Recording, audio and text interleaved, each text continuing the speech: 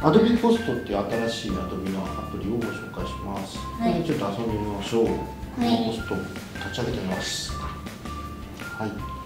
あのこれ今あの出てきてる画面で英語じゃんっていう感じかもしれないですけど、あの残念ながらまだ日本語化はされてないんですけども、あんまりあの気にせずに使ってあのいただけます。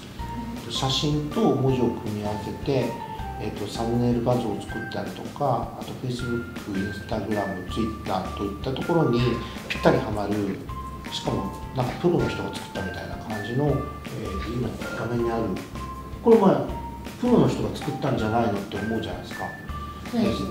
もういろんな国のですね、えー素人の方が自分の写真と自分で打った文字を組み合わせて、えー、とこのアプリで作った作品がドワッと出てます、すごい。うんこんな感じのものが誰でも簡単に作れちゃうっていうつもりになってますじゃあ早速ちょっと作ってみたいと思います、はいプラスボタンを押しますプラスドンすると英語が。あ、もう英語なんですよね。で、えっ、と、大丈夫。えっ、とね、上から行きますと、フォトライブラリーって書いてあるのが、このカメラの中のカメラロールのことを。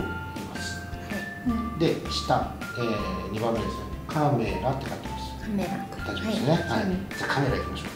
えー、さあ、カメラ。オッケー。そうするとカメラが起動するんで、はいじゃあ、えっ、と、まず先生が、先生がっていうとあれですけど、二人の写真で、こんな感じがいいかな。じゃあ、行きます。バシャ。いいですか？はいいいですか？下の右側ですね、えー、とがユースフォト、このフォト写真を使いますと、左はリテイクだから、もう一回撮るよっていうことですね。とりあえずここで、えー練習なんでユースフォトを選びます。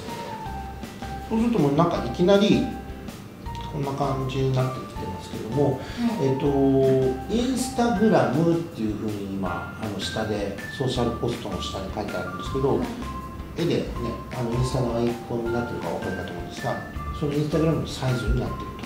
で Facebook のアイコンを選ぶと Facebook のサイズになってて Twitter だとこんな感じよと。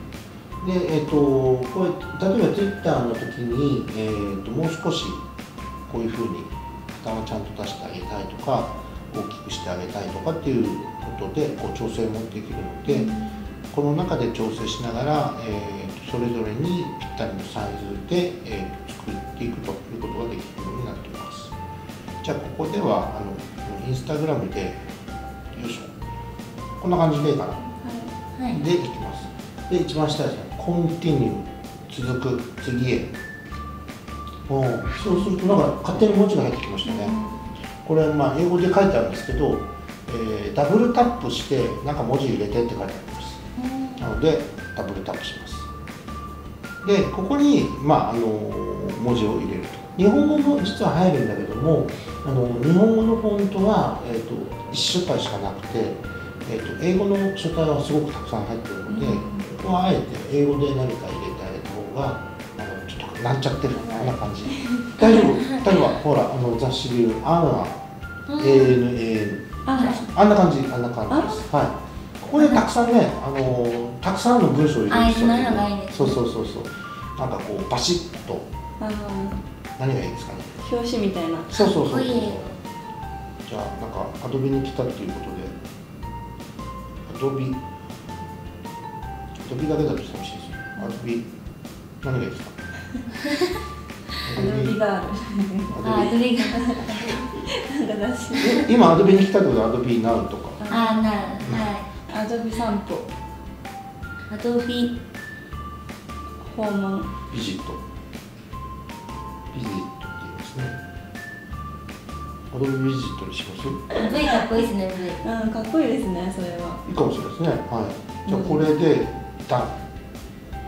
そうすると、あれ？ダン。おビジットおおこいいですね。でここで、えー、と文字の大きさも自由に変えられますし位置もこうやって持ってくることもできます、こんな感じで。ちっちゃくもできるし。でこのまま、えー、と下にいろいろなんか項目がありますけど無視して、えー、とチェックを押すと一応これで仕上がるんですけどあの、まあ、これでもかっこいいんですけどさっきもっとなんかいろんの感じのものがあったじゃないですか、はでそれをやってみたいと思います。えー、と一番あの、えー、と魔法使いの棒のアイコンなんですけどデザインって書いてあるところ。ここを押すとほらなんかいろんななんかこうプリセットされたものが出てきてるんですけど、じゃあ左からいきます。おおなんかいきなり写真が大胆に真っ青になってビビジットっていうなんか勝手にロゴみたいな感じになりましたこ ひたすら隠れる。れこんな感じとか。どれがいいですかね。よいしょこんな感じとか。字の位置を動かせるので、うん、ちょっと可愛い感じとか。こんなのとかですね。勝手にこうなんか丸とかつけてくれるんですね。うん。ほいいくつあるんだろう、うん、すごいいっぱいあって迷うそうなんですそうなんです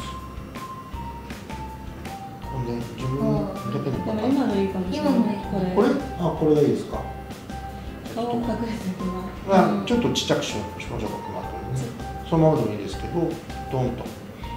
で、えー、と決定した後に文字選んで一応こうやって動かして大きさを調整するってことができます。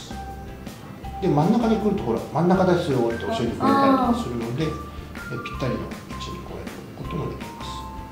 あえてちょっとこう沈めてみたりとか。さっきの隠れて顔るアプリ隠しちゃった方がいいかもしれない。ああ本当に？もう最初のこのこういう感じ？ちょっともうちょっとあでもこれうんそのぐらいだったらいいかもしれない。ほうほうほうほう。でこれさらにもう少し、えー、と色合いをいろいろ遊びたいなと思ったら、えー、と真ん中のパレットさっきカラーの時にも出てきましたけどパレットですね、これを選ぶと今選ばれてるのはあの、えー、と黒をベースにしたちょっと濃いめの色のやつが左端のやつが選ばれてます。で矢印がこうぐるぐる巻きになってるんですけど、ここの上でもう一回タップすると同じ色なんだけどもちょっと配色を変えるっていうようなことをしてくれます。これが最初でこんなちょっと比べにしたりとか、うん、よこの次の次あ違うこの次。あれ丸が白っぽいのがなんか丸が白っぽいのがありましたね。これか。あああなんかね、かわいいかも。あ、ちなみにおしゃれおしゃれちなみに他にもパレットがいろいろあって、えー、と全然違うのでいくとこれとかでこうやってまた変えていくこともできるので、すごい。グリーングリーン。こんなのですかなんか地球って。地球。地球。優しいはい。ちょっとこう。よいしょあーどれだこれか？こんな感じ？環境大使あー。環境。環境大好き。はい。いいですか？これははい。これいいですね。こんな感じ。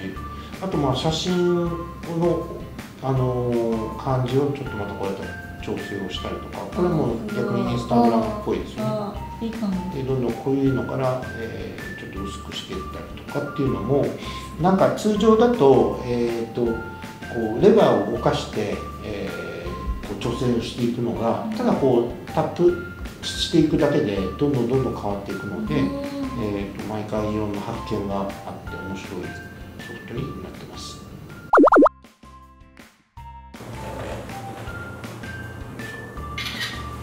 お化けみたいなやつダメだったら取り直すんで。